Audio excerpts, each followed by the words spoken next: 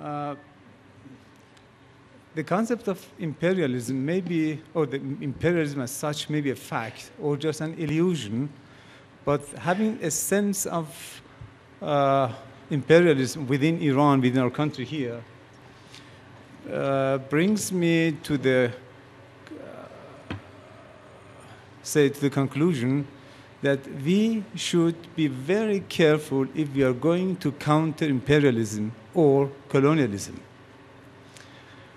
Uh, Iran is a Muslim country, and we have some 50 Muslim countries around the world.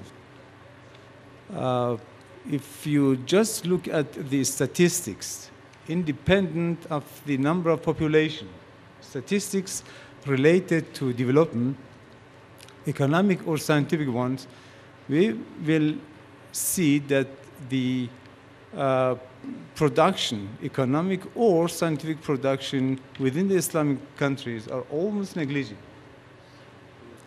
Even if Turkey and Iran are among the first 15 or 16 countries as far as GDP is concerned, and within 30 countries if the scientific, popula- scientific production is concerned.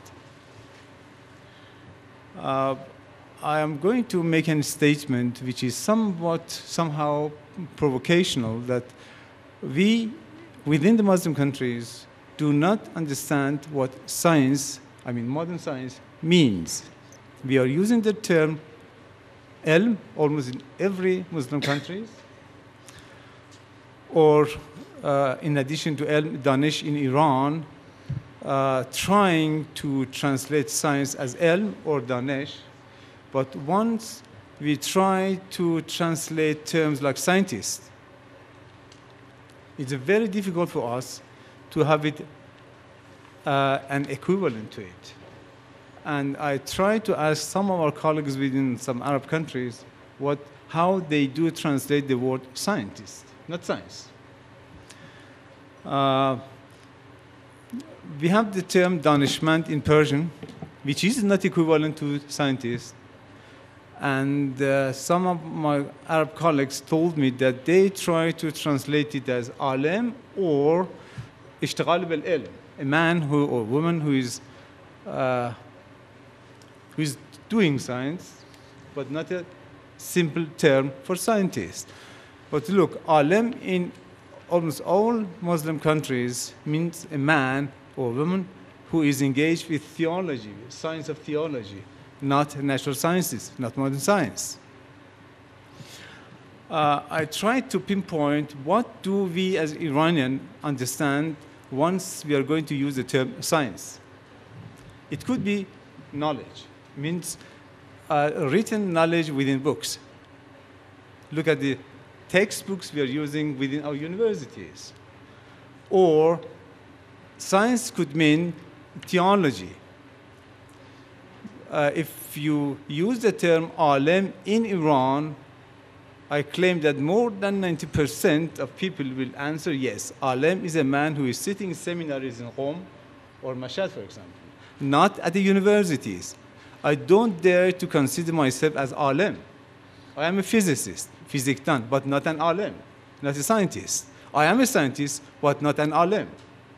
If you try to understand what's the root of these semant semantic differences within the concept of science and alim, you will see that most, not only most, I mean, the, uh, the prevailing concept of science in Iran and the Muslim countries, I claim, is the science of theology, without knowing it explicitly.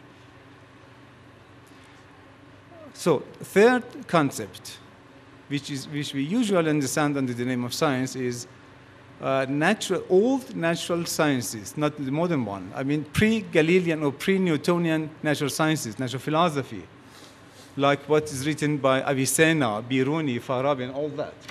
Hmm. And the fourth concept of science is the modern science, which I am claiming we do not understand it even within our universities in Iran and none of the Muslim countries. Uh, I know that this is not a simple claim. And many are going to counter me that this is not right. Look at Iran. Iran is uh, improving its scientific output, scientific production like a jet. I mean, if you think that Iran has produced, or the, the number of papers at least, in the last uh, 18 years has been increasing by at least a factor of 20% per year, even though that we have produced more than 20,000 international papers in 2009, even though I'm claiming that we do not understand modern science even within our universities. I'm sure that you have seen the statistics in the last couple of years by different institutions ranking the universities. None, almost none of the Muslim uh, universities within Muslim countries is within the 500 or, 400 or 300 universities, top ranking universities. We are trying, we are making a trick in, within Iran, in Iran, merging different universities with the hope that the number of papers or number of uh, different parameters within scientometrics uh, will allow us to be within the 500 universities. This is the main reason that University of Tehran and the Medical University of Tehran merged two years ago. And we at Sharif University of Technology received a letter two years, yes, one or two years ago from the, count, the, the president of the Isfahan Technical University that we should merge together, make a technical one, just one technical university, so that we will come within the top ranking university in the world.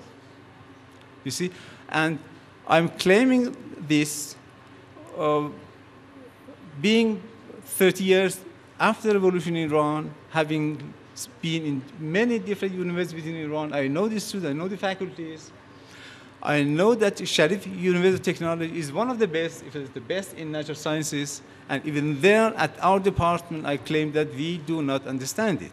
Now, uh, once I am claiming that we are far from understanding this very complex uh, social process called science, modern science, how are we going to counter scientific imperialism or colonialism? It's very simple-minded to think that we can counter it with a very nebulous concept of science without the technology and without being prepared, without being ready to understand what modern science and technology is to counter it. This is the main obstacle I claim that none of the Muslim countries, none of the Muslim countries are ready to go over the 25% as a, I mean, if you take all the scientific metrics, scientific parameters, and try to see if one of the Muslim countries out of 50 is ready to go over the 25%, you will see we are far from that. We are far from that. It's not enough to look at just one of the parameters or one of the disciplines or one of the technological achievements of a country. You have to take all that into account, and you will see that we are in none, uh, none of the Muslim countries, and as a whole, we are not in a position to grasp or to understand the modern technology and science. I will stop here with the claim which I, am, I know that almost nobody here will accept it. I have tried to uh, have argumentation with different peoples within and outside Iran, in Muslim countries and in the West, uh, with the same statement and the same claim. I know how difficult it is to grasp, but I'm claiming it after being, after living as a young man 15 years in Europe, in different, at different universities, and being in Iran for 30 years, knowing what we are going, uh, what we're doing at different universities, how, how, the different, how the policies within Iran are, and having looked at all these statistics relevant to science and technology within the Muslim countries. So it's a bad situ situation for all of us, but we should take care that once we are going to counter imperialism or colonialism, you see, first we have to understand it.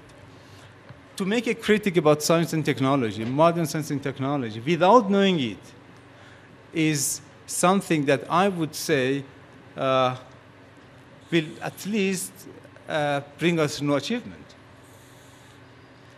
uh, even if you go back to the first couple of hundreds after Hijrah, says four, five hundreds after Hijrah, and golden ages of Islam, and at least try to see how our ancestors had done in science and technology, how they try to think, you see, to grasp what has the Indians done or the, uh, the Greeks has done before, translated the texts, the first 200 at least, and try to, lead, to do the same at least, to have, to co- come back to our golden ages, you see. Then uh, I would say that we should finish all the critics about science and technology and instead of that, try to understand it. Uh, as a physicist in Iran, I can tell you that physics is one of the disciplines that is most developed within Iran, and we are one of the uh, five developed under, uh, uh, developing countries that has had more than 1,000 scientific, international scientific papers in the last year, you see. Even though I'm claiming that even in physics, although we have tried hard in the last 30 years to develop it within Iran, we are far from the international level. We are part of LHC. LHC is the Large Hadron Collider, the big scientific project in Europe, the biggest one, in fact, in the world. A project costs more than 10 billion US dollars just to find a particle that physicists uh, have found within the calculations. Uh, it took us more than 20 years to convince our politicians that Iran should be part of such big projects just to understand what they are doing, what this uh, modern science is doing, you see. And I this is one of my last statements here, that what we are doing within Iran in terms of scientific papers, so these uh, 20,000 papers that I uh, uh, mentioned as one of the, one of the uh, statistics showing how Iran is improving science, we are just in the phase of uh, exercising, trying to learn how to write scientific papers. We are not we have not started yet the phase of producing modern knowledge within Iran and none of the Muslim countries. Look, Iran alone, in, and if you take Turkey, these two countries produce more than all the 48 other Muslim countries as far as science is concerned. So you can have, if you, if, if you didn't know that, that all the other Muslim countries produce less than these two countries altogether. And all the 15 Muslim, uh, Muslim countries produce less than South Korea. So please be very careful in claiming that we are going to counter colonialism. I'm very glad that we are going to India, back to India, to Delhi, and establishing an institution for Occidental studies. But India is different from Iran and different from other countries, India, the continent and still has many difficulties. And uh, maybe India has a scientific community, but I know from uh, field studies in sociology that none of the developing countries, including all the Muslim countries, has yet created a scientific community. The study has been done in Iran. It took three to four years. And the outcome was that Iran may be on the verge of producing a scientific community in the modern sense, in the social scientist sense.